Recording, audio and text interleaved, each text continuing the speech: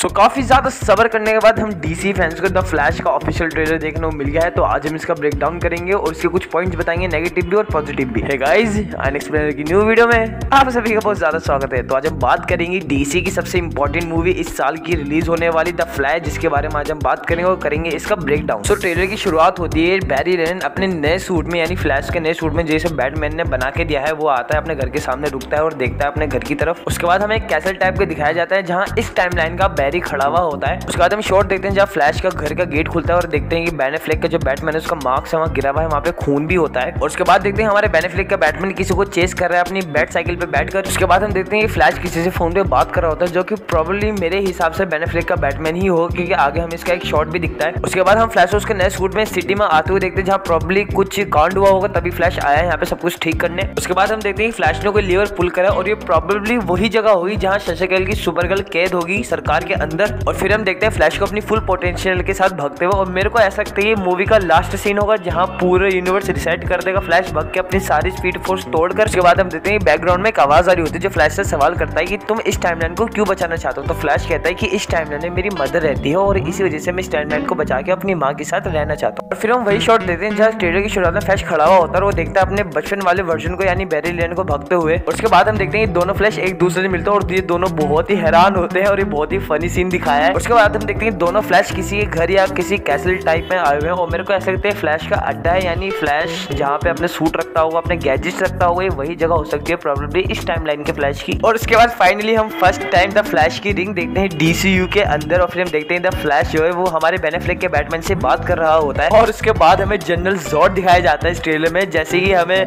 Man of steel में वो TV के द्वारा सबको वार्निंग दे रहा होता है, ऐसे ही बिल्कुल सेम हमें द फ्लैश मूवी में दिखाई देता है। और ये बहुत ज़्यादा एपिक सीन होता है। उसके बाद हमें मैन ऑफ़ स्टील कुछ एंडिंग फाइट के सीन दिखाए जाते हैं, जो बिल्कुल सेम होते हैं, और उसके बाद हमें जनरल जॉर्ड दिखता है ट्रेलर के अंदर, जो कि बहुत ही एपिक होता है। और उसके बाद देखते हैं हम अपनी सुपर गर्ल को, जो कि बहुत ज़्यादा कमज़ोर दिखाई होती है। उस सीन में फ्लैश उसकी मदद करने आता है उसके वहाँ से छुड़ाने आता है। और यहाँ पे हमें फ़र्स्ट टाइम माइकल कीटन के बैटमैन की बैट केव देखने को मिलती है, और वो यहाँ आते और कहते हैं कि हाँ मैं बैटमैन हूँ। और ये बहुत ज़्यादा एपिक था। और उसके बाद हम माइकल कीटन के बैटमैन को किसी गुंडे से लड़ाई करते हुए देखते हैं, और प्रॉब्लली वही जगह हो सकती है जहाँ सुपर गर्ल किडनैप है, यानी बंद है सरकार के काम के अंदर। उसके बाद हम देखते हैं बेनेफ्लेक का बैटमैन अपनी बैट बाइक से कुछ चेस कर रहा होता है कुछ लोगों को, और फिर हमें सुपर गर्ल दिखाई देगी जो कि इस टाइमलाइन के फ्लैश को अपनी गोदी में लेकर आसमान में जा रही होती है। प्रॉब्लली वही सीन होगा एंड की फाइट का, जहाँ इस टाइमलाइन के फ्लैश को चोट लग जाएगी। और उसके बाद हम बैरी को देखते हैं, कहीं से भगता हुआ यहाँ प्रॉब्लली वो जगह होगी जहाँ जनरल जॉर्ड की जो शिप होगी, यानी जो उसका जहाज़ होगा, वो अर्थ के अंदर की ग्रेविटी क्रिप्टॉन में बदल रहा होगा। उसके बाद हम दोनों फ्लैश को लड़ते हुए देख सकते हैं जनरल जॉर्ड की आर्मी से। उसके बाद हम देखते हैं दोनों फ्लैश बात कर रहे होते हैं कि हमें सब ठीक करना होगा प्रॉब्लली उसी बात कर रहे होंगे जहाँ फ्लैश को पूरा का पूरा यूनिवर्स अब रिसेट ही करना होगा। उसके बाद हमें माइकल कीटन के बैटमैन की द बैक विंग देखने को मिलती है। और उसके अगले शॉट में हमें सुपर गर्ल द फ्लैश और इस टाइमलाइन का फ्लैश डार्क फ्लैश और बेनेफ्लिक का बैटमैन भी देखने को मिलता है। और फिर हम देखते हैं कि बैटमैन और फ्लैश ये दोनों यहाँ फंस जाते हैं, जहाँ सुपर गर्ल को बचाने आते हैं। तभी सुपर गर्ल इनकी मदद करते हुए जितने भी गुंडे होते हैं सबको मारती है। फिर एक फनी क्लिप के साथ द फ्लैश मूवी का ट्रेलर खत्म हो जाता है और ये कसम से बहुत ज़्यादा फनी सीन था। सो इस ट्रेलर की अब कुछ नेगेटिव और कुछ पॉजिटिव पॉइंट्स के बारे में बात करते हैं तो सबसे पहले नेगेटिव पॉइंट्स के बारे में बात करते हैं कि इस ट्रेलर में इन्होंने हमें बहुत कुछ दिखा दिया और हमें मोटा मोटा कहानी का पता लग चुका है। और पॉजिटिव पॉइंट्स ये हैं कि